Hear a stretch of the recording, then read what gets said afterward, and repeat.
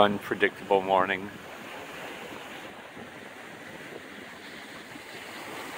Storms just passing and some on the horizon. According to the radar, they're building a little bit. Wind is, I don't know, wind's probably blowing 14, 16 right now, somewhere around in there but uh, shows up to 25 in those storms. Then you got to worry about right after they pass.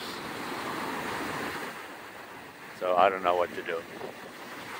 That doesn't look like it's coming in for about 45 minutes.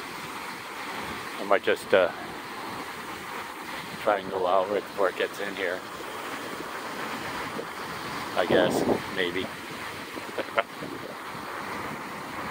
I have no idea what I'm doing today.